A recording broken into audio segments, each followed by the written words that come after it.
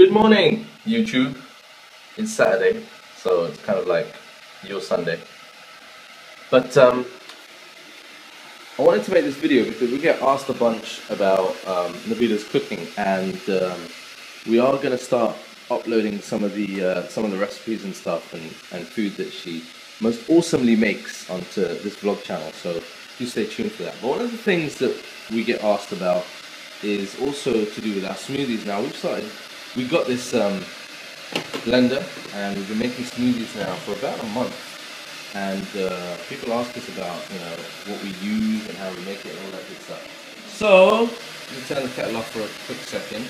Um, this is a really easy get in there smoothie. One of the things about smoothies is uh, the fact that when you start off, you think it's just pile full of fruit and and and vegetables and stuff like that. Well, on a Sunday or on a Sunday, on a Saturday or on the weekend for us, what we do is we try and like um, sweeten it up a little. So this is something really simple, really easy that you guys can can use, and it's it's it's healthy, healthy-ish with a treat uh, involved in there. So what you're gonna need is a vanilla Onken or Biopot yogurt.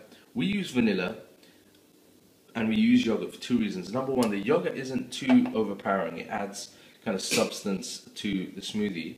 And also using vanilla because vanilla flavor will bring out and help to bring out the flavors and the other stuff that you use. Um, you want to use frozen uh, mixed berries. Now we used to use strawberries, raspberries, blueberries, all that kind of stuff that was fresh. But the problem was um, number two, uh, two things. The first thing was that you know it costs a lot, especially out here. And number two is that you know you've got to use it up within a few days. Whereas you can buy a pack of this and put it in the freezer, and it's still it's okay. It's okay. It would be better to use fresh stuff, but hey. And then what I would recommend is some cinnamon and a banana. But hey, you're gonna have to use your banana because we don't have a banana. So we're gonna incorporate some apples in there.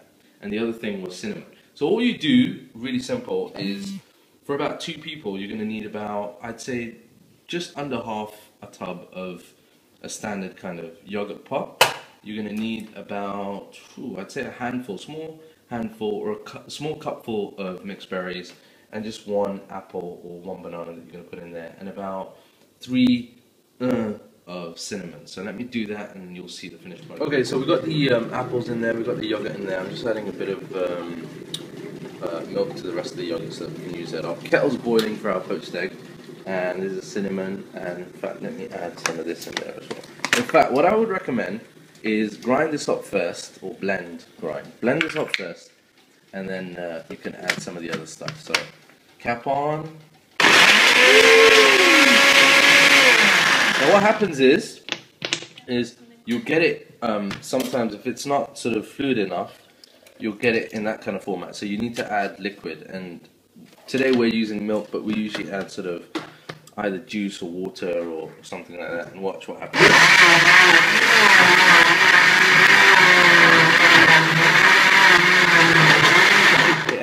It up much better. Now look at this. I've added some of the um, frozen berries and immediately look what it's done to the colour. It's not completely mixed up. I wanted to show you this. But look, no artificial colours. No... Oh! oh my god. Forgot the top, sorry. Um, yeah, let me put the top on.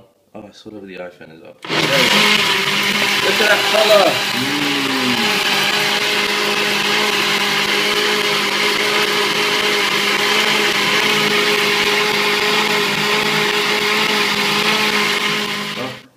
Cinnamon in there as well. About a tablespoon. About a tablespoon, says Miss Bila. And uh, cinnamon is good, circulatory. It's um, good if you suffer from migraines as well. Just mix that in there.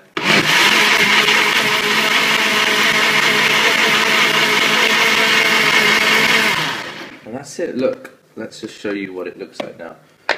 I saw this yesterday, right? And you know, this, I've, I've checked the berries and stuff. No artificial flavors, no nothing, no coloring. Look at that.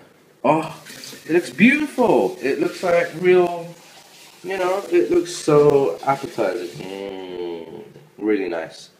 And that's it, a really simple start to the day. Now, Miss Bila likes hers in a cup. What I like to do is I like to use um, German kind of muesli and actually mix mix some in there. Now, what you can do, if I was doing this on my own, I would actually put like the muesli in here, and the muesli that we're using at the moment is this one.